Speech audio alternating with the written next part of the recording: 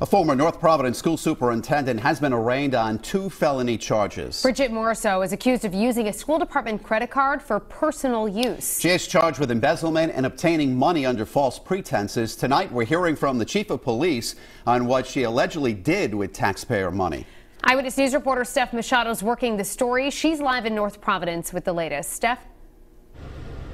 Police say Bridget Morisseau turned herself into the police department this morning when a warrant went out for her arrest. She's accused of using her taxpayer funded credit card on thousands of dollars of personal expenses.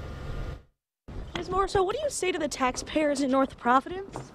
Silence from Bridget Morisseau as she left court Tuesday, charged with two felonies related to allegations she used her North Providence School Department credit card to pay for hotel rooms, airfare, and $2,000 to a spa while she was superintendent. It didn't sit well with me, so I can imagine how it did not sit well with the taxpayers of this town as well. Police Chief David Tikoian says police received an audit of Morisseau's finances from the town in September and used that in their investigation. Certainly the audit that the school committee uh, provided us with is a part of the investigation, and we did use the some of the information in there. The police affidavit says they found $4,600 worth of charges on the card that were personal expenses, and an additional $7,000 worth of charges that police were not able to classify. Have you paid restitution?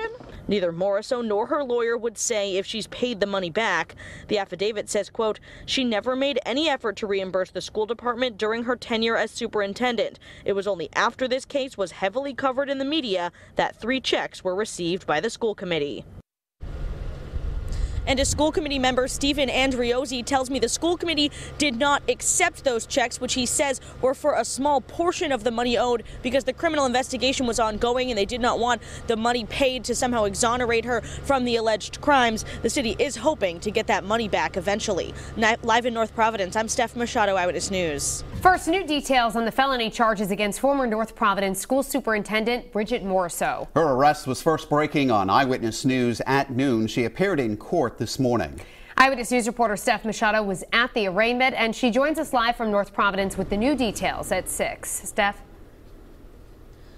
Bridget Morisseau was only superintendent of North Providence schools for a year. During that time, police claim she managed to rack up quite the credit card bill on taxpayers' dime. 48 year old Bridget Morisseau had only been superintendent for a few months when she allegedly started charging personal expenses to her school department credit card. Police say that included 500 bucks on airfare, $2,000 at a Connecticut spa, and charges at hotels where no school department functions were taking place. It didn't sit well with me, so I can imagine how it did not sit well with the taxpayers of this town as well. She was charged with felony embezzlement and obtaining money under false pretenses. Ms. Morisseau, what do you say to the taxpayers in North Providence? No comment from Morisseau outside court, but documents say when confronted, she told her colleagues she would reimburse the school department. The police affidavit says, quote, she never made any effort to reimburse the school department during her tenure as superintendent. It was only after this case was heavily covered in the media that three checks were received by the school committee. Mayor Charlie Lombardi's chief of staff relaying this message. His main concern and my main concern is that the taxpayers of our town receive full restitution and multiple school committee members telling me today they are no longer using any credit cards in the North Providence School Department. In fact, they say the committee didn't even know the credit cards existed and that the finance director had ordered them until after this all came to light. That finance director now works for another town and we're told by the police he is not currently under investigation. Live in North Providence, I'm Steph Machado, Eyewitness News.